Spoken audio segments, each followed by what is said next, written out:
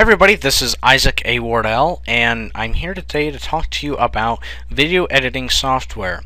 Now, I'm sure most of you are wondering what I use on a daily basis to produce so many videos, both for clients and for my coaching channel, but also for our business channel. And I'm proficient here in what you're looking at, and that's Adobe Premiere Pro. And I would use this, I would say, probably about 5% of the time. Now this is a expensive software uh, ranging from $800 or so on up if you're just buying this. If you're buying in a package, uh, it can be up to several thousand dollars. Um, but it's very uh, complicated. There's a lot you can do with it. As you can see, there's a lot going on here. You got a lot of transitions, a lot of effects. You can have a lot of titles, etc. This is a very complicated software, and I don't use it a lot because it's so complicated. At the same time, it does a lot more than most your basic video editors but 90 plus percent of the time I don't need a complicated editor. So I just thought I'd throw you this up here. This is Adobe Premiere CS 5.5 just to kind of give you an idea what it looks like from the inside. And then I thought I'd show you what I actually use most of the time. It's a little more affordable, I think right under $300, and that's Camtasia Studio. And this is what I use 90-95% of the time to record and produce videos for both me and my clients because it's so simple to use. You've only got a few uh, different things that you can do here, but it's very simple. In fact, I thought that I could give you a quick demonstration. I think I can record or rather produce one of my coaching videos very quickly here in front of you and probably keep it under five minutes or so. So I'm going to dive in and see if we can do it. Uh, I'm just going to import the few items that I'm going to need. Alright, under my folder here, and we're going to go under my video folder. Alright, I'm going to grab my intro, my exit, and my certification badge. And it's going to import it here into Camtasia.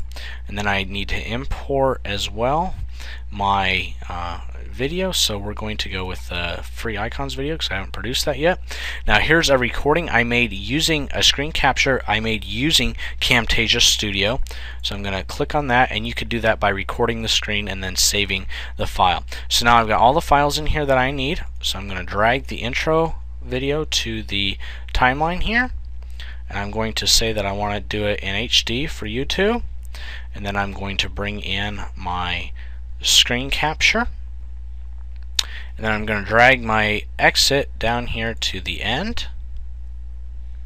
Alright and then I'm going to put some transitions in between uh, whoops in between the videos here.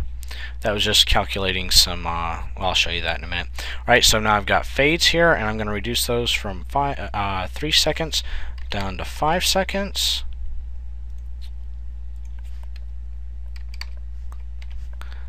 go back to the clip bin. Now you can see I've got the the transitions there. These are what that was calculating a second ago.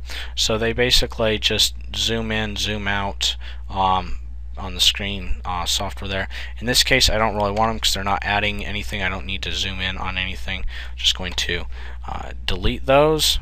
Alright I'm going to come right here. I'm going to add a call out alright and I'm going to change the color to a darker color.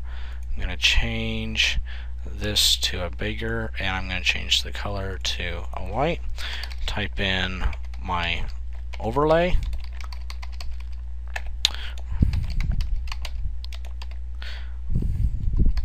Actually uh, I think I say uh,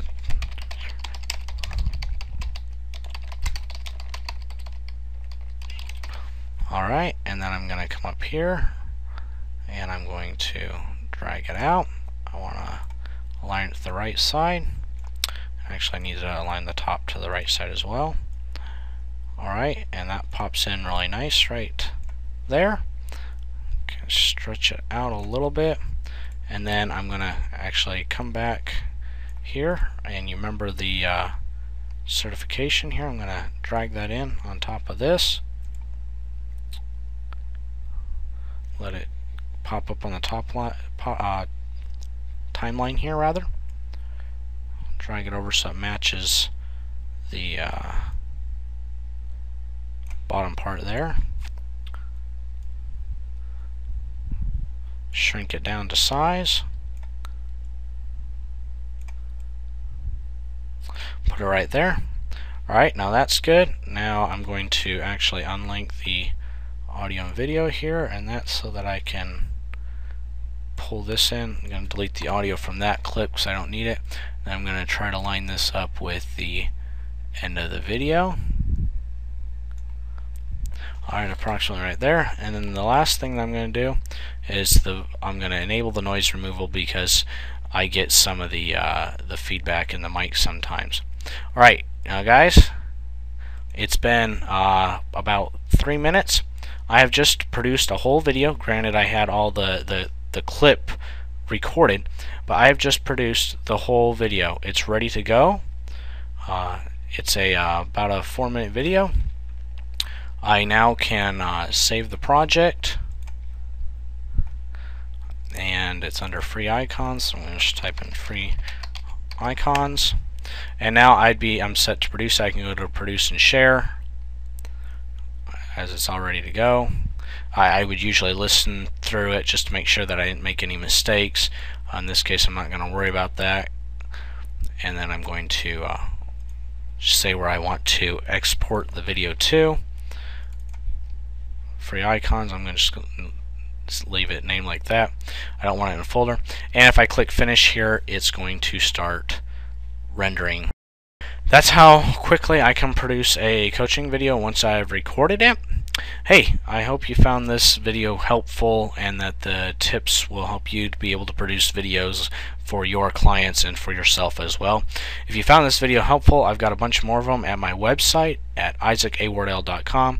Just head over, put in your name and email, and you'll get access to the back end of my website where I've got a whole bunch of videos like this recorded for you. I look forward to seeing you over there.